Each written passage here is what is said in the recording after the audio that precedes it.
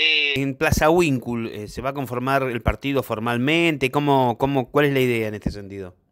Mira, nosotros eh, tenemos como próximo paso terminar de afianzarnos nosotros como equipo.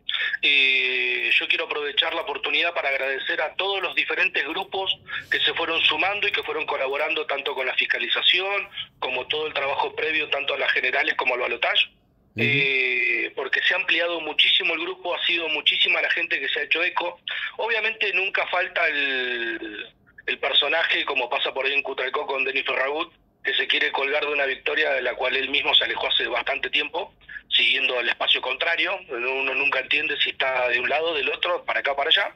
Pero bueno, salvo esos, esos especímenes, después la idea es toda la gente potable, trabajadora y honesta que se ha sumado, mantenerla adentro del espacio, empezar a formarnos como espacio político, a consolidarnos como espacio político y, y a transformarnos en una fuerza que la gente pueda sentirse representada con esa fuerza. Muchísimas gracias.